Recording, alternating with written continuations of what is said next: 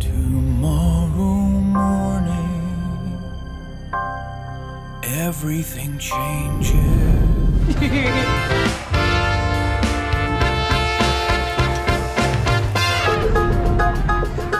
We're getting married tomorrow. I love it. It seems a little tight round the waist. Really? divorce was so horribly messy. I really hate for you to have to go through the same thing. Divorce can be especially hard on the children. The break would be good. The last time you said that, you moved out.